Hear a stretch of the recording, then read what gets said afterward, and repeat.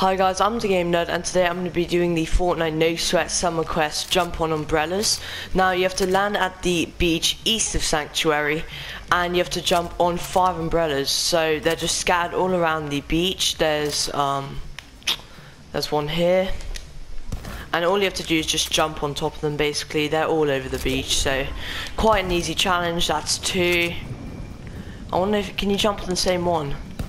Oh, you can't just jump on the same one. Okay. So three, four, five. So yeah, you could jump on the same one and you get 15,000 XP. So thanks for watching and I'll see you later. Bye.